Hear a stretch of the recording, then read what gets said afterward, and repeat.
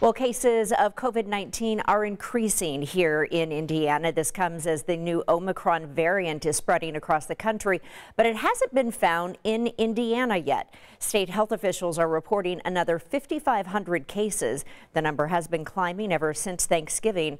Another 41 Hoosiers have died. And many health experts say genomic sequencing is the answer to staying ahead of this virus. It allows scientists to look at the genome of the virus and see how it's evolving. Right now, a small percentage of COVID cases are being sequenced.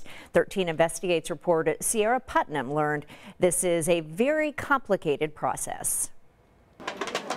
The process for genomic sequencing is complicated. For scientists like Dr. Aaron Ermel, an Indiana University assistant professor, tests a sample for COVID. Place samples in this machine here. If there's enough viral load, RNA is extracted and sent to a different lab to go through a sequencer like this.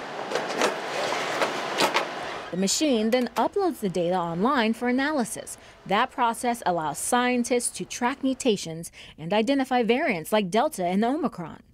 IU Bloomington assistant professor Ana Bento works on the public health side of the issue. She says only a small percentage of cases are being sequenced in Indiana. 2.3% of the cases. So, as you see, is a very, very small proportion of the reported cases. Ideally, we would have at least 50% of all cases in a given state. Right now, the United States sequences less than 3% of positive samples. According to a global database, in the last 90 days, the U.S. was sequencing about 29 cases per 1,000. Iceland leads the way, sequencing 482 per 1,000 cases.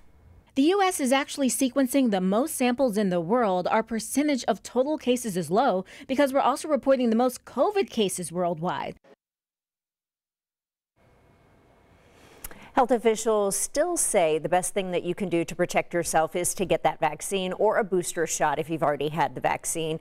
And the FDA and CDC are expanding who can get a booster. They just approved the third Pfizer dose for 16 and 17 year olds. It's not clear at this time if younger teens will need a booster.